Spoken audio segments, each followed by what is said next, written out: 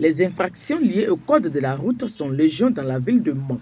Non-respect des faits tricolores, non-port du casque pour les automobilistes, refus d'obtempérer, défaut des pièces administratives, entre autres, sont le lot quotidien des constats faits par les agents de l'unité de régulation de la circulation. L'incivisme est la chose la plus partagée dans cette ville. Malheureusement, au nombre de tous ces cas, nous constatons que véritablement, les gens ignorent le code de la route. Au niveau des taxis de Mans, sur 466 véhicules en circulation, seuls quelques-uns sont en règle vis-à-vis de l'administration. On peut compter au moins une trentaine qui ont la visite et toutes les pièces administratives à jour.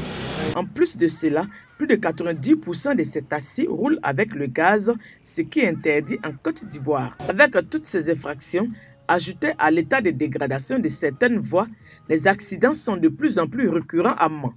Selon le service constat de la préfecture de police de Mans, de janvier à août 2021, l'on a enregistré à Mans 345 accidents ayant occasionné 8 décès. Au niveau national, l'on dénombre plus de 1000 morts par an. Pour adresser la question, l'État a mis en place une stratégie nationale pour la sécurité routière afin de réduire significativement ces accidents de circulation. Le Haut Conseil du patronat des entreprises du transport routier a donc initié une tournée d'information et de sensibilisation dans les villes de l'intérieur. À Mans, les échanges avec les acteurs du secteur du transport se sont déroulés à l'hôtel de ville. Il s'agit pour nous de rappeler à nos conducteurs la nécessité de lutter contre toute forme d'incivisme sur les routes en Côte d'Ivoire ce qui pourrait permettre de sauver des vies et de sauver les investissements du secteur du transport. Il s'agit aussi pour nous de nous adresser aux transporteurs, patrons des, des, des transports, propriétaires des véhicules, pour leur rappeler que les dispositions aujourd'hui sont claires. Tout véhicule de transport routier en Côte d'Ivoire doit répondre aux dispositions réglementaires, avoir tous les documents administratifs à jour.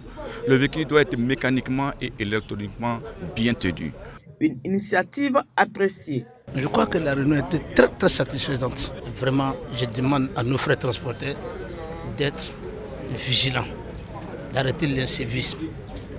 Ça y va de l'intérêt de notre corporation. Avant moi, les acteurs du transport d'Issia et de Dioko ont été aussi sensibilisés. Il faut dire que la phase de sensibilisation a pris fin depuis le lundi 6 septembre à minuit. Place maintenant à la répression des infractions au code de la route sur toute l'étendue du territoire.